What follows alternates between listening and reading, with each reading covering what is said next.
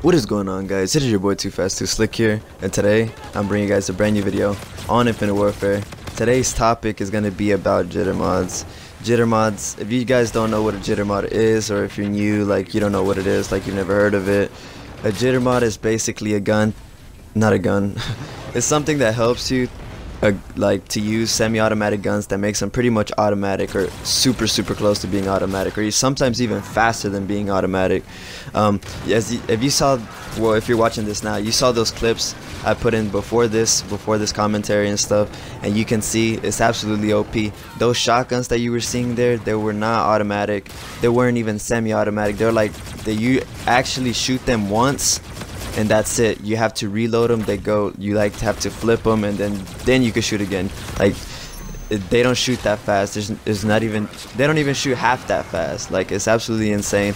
Um so the problem with jitter mods they had them in bo3 i think in bo3 they really started getting popular. And then iw some people use them i, I don't see them quite often but a lot of people still use them i've heard. A lot of people still complain. I mean World if World War II has jitter mods, which they shouldn't, they should really learn from these Call of Duties because in BO3, like I said, they had jitter mods. People complained. IW, they still have jitter mods and they still haven't fixed it. People complain. In BO3, they already fixed it, but they were a little bit too late. They fixed it after the new Call of Duty came out, which is IW, which is the game I'm on now. They fixed it too late, but at least they fixed. They learned. They learned from it, and I think it's the first game. I'm not gonna say it was the first game that actually had jitter mods, but it was the first game that I feel jitter mods actually became popular, and now it's in IW or Infinite Warfare. And um, Infinite Warfare I don't know if the developers whatever are aware of this, but I'm pretty sure they are because a lot of people run into them.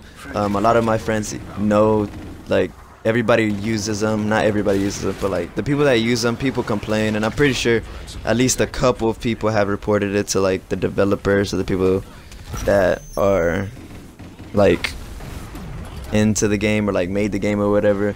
But yeah, if they have World War II jitter mods which they shouldn't because I if they don't fix it by then man like it's it's just too much. They should learn from the other Call of Duties like I said it's just it's just too much to deal with. Using a gun that's not supposed to be automatic like it's just it's cheating like you can see from those clips I, I had no chance. I had no chance. The first clip I had no chance of killing him because it was a close quarter gunfight and he had automatic shotguns. Like, you can't beat automatic shotguns. I don't care who you are. Like you can't beat them especially if they're like the bullets are going everywhere, the pellets are going everywhere, but whatever.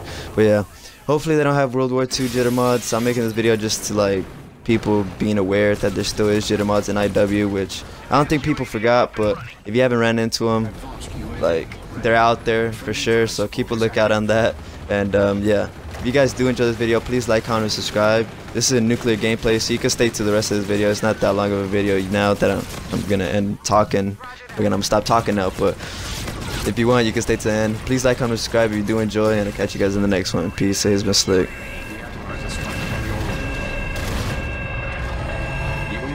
At